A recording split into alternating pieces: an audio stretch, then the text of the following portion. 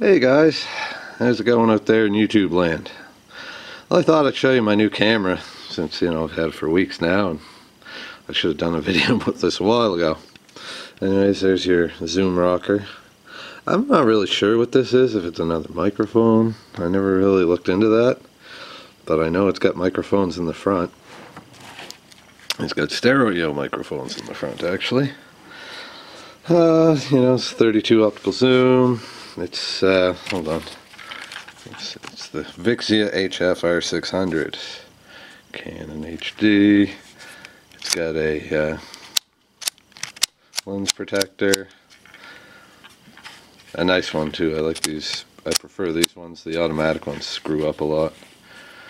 It's a little tricky getting my little fuzzies on there. They're not quite on there perfect, but they work. Came with a decent sized batteries, not as small as the other batteries. And of course it's got a tripod mount. And let's see on the side here. So we have a microphone jack slash headphone jack. How the fuck does that work?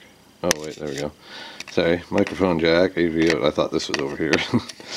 there, we got a microphone jack, an AV out jack, which is basically a headphone jack well it is a headphone jack, HDMI out, and USB. And then the SD card goes in there. Very simple on off play button there. I can't see that all too well, but uh, it's all touchscreen. Um, yeah, anyways, that's pretty much it. It's, uh, it's a good camera. I've been really impressed by it. I mean, I can't beat it for a hundred bucks. I mean, I did only pay 60 for this one I'm filming with, but uh, I do enjoy the video from the other one much better than the video from this. I'm still debating which one I like better for holding. Uh, this one's a little smaller, so you hold it a little differently. I don't know if that's better or worse at this point, but uh, you know, I just thought I'd show you guys right quick.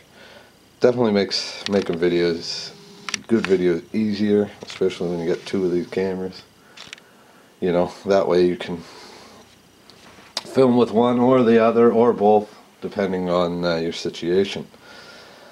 But uh, it's a beautiful day. It's the 16th of February. It's about I don't know looks like about six to eight degrees outside. Well actually I could tell you what temperature it is. It's seven degrees outside. Look you can see you can see my weather station good today. It does wind speed air pressure wind chill um, you know weather forecast got the date time. Uh, humidity. Nothing too major but still a nice little rig.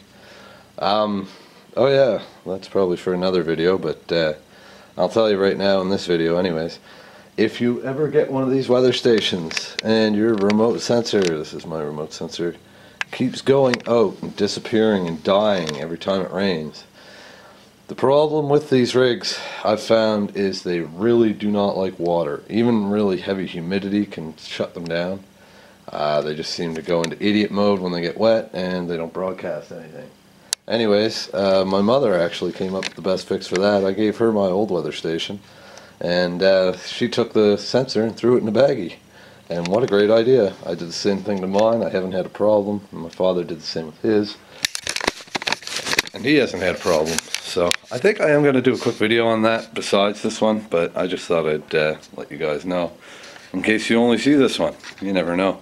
Sorry I'm squinting so much. The sun's in my eyes and I get snow blinded really easy. My eyes are really sensitive. Um, I've been wearing sunglasses now for uh, religiously for about 10 years and it's made my eyes a lot more sensitive so in this wintertime I really get blinded by the bright snow. But uh, on the nice days especially but it's so nice to see this all melt off.